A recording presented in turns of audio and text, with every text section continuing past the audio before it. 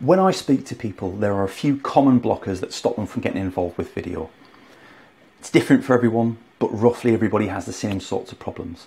And as an executive coach, you're probably self aware as to what it is that's causing your problems. The main things that I come to are anxiety and imposter syndrome being rolled into one, but they are very separate issues, let's be honest.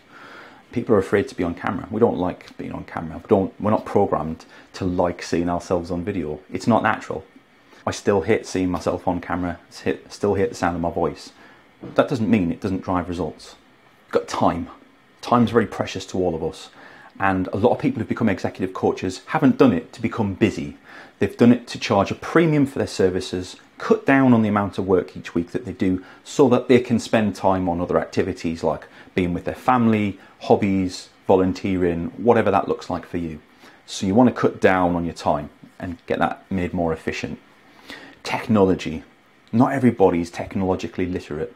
And let's be honest, tools are changing so rapidly all the time. Unless you're using the tools over and over again repeatedly, can be a challenge to keep up with them. And I can't count the amount of times each week I send a message to my close network and tell them how much I can hate technology.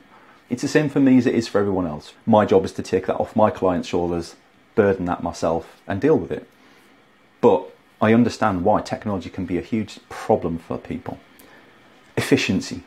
If you're not trying all the latest tools on the market, looking at new workflows, spending time thinking about how you can be efficient and strategic with the content that you create, it can feel like a chore and it almost turns into a full time job. Let's be honest, none of us, barring me, got into the business that we're in to create video, to create social media posts, to be a content marketer. We didn't do it. We did it to help people in a specific way, and that's what drives us. That's our why. And everything else that's not part of that becomes a blocker, becomes something we procrastinate about, becomes a rock that we have to break down and a frog that we have to eat. But if you do it, you will separate yourself from everybody else who feels the same way. It is worth the effort. Honestly, I can't stress that enough. And the other thing that comes to is just not enjoying it. We've touched on it already, but if it's not fun, we're not going to do it. And my advice would be in that space is you need to be creating content that you enjoy because I love sharing content to help people. I don't enjoy being on video, I enjoy helping people. And with that in mind, I can change my mindset, reframe things a little bit, and I actually do enjoy creating the video because I know the impact and I see the impact it has on my network and the people who maybe don't want to use my services but benefit massively from the advice that I share with everyone. That covers the majority of the reasons why we don't do video. Uh, and to come back to anxiety and imposter syndrome, I think they're worth a video all on their own, if I'm honest, because a lot of people, especially female business owners, struggle with anxiety and, and imposter syndrome.